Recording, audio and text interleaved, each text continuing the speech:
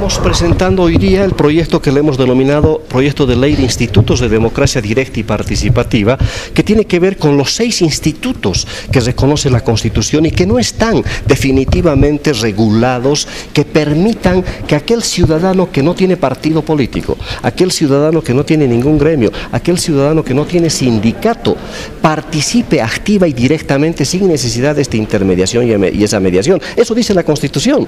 Estamos eh, eh, sobrepasando la democracia representativa, la Constitución nos establece en su artículo 11 eh, o 12, si no me equivoco, que debemos impulsar además la democracia directa y participativa. Se requiere regular adecuadamente estos institutos. El referéndum, tenemos que buscar mecanismos para, para que cualquier ciudadano active referéndums, por ejemplo, en iniciativas legislativas, impulsar un referéndum para ya sea abrogar, derogar o modificar una norma. Iniciativa legislativa ciudadana que no está siendo regulada, la revocatoria de mandato. Los ciudadanos si quieren revocar al presidente o el, vicepresidente a través de un referéndum con iniciativa popular, lo propio para diputados, lo propio para senadores, no está reglamentado, no está establecido la posibilidad de activar un referéndum revocatorio a diputados uninominales, a senadores del Estado.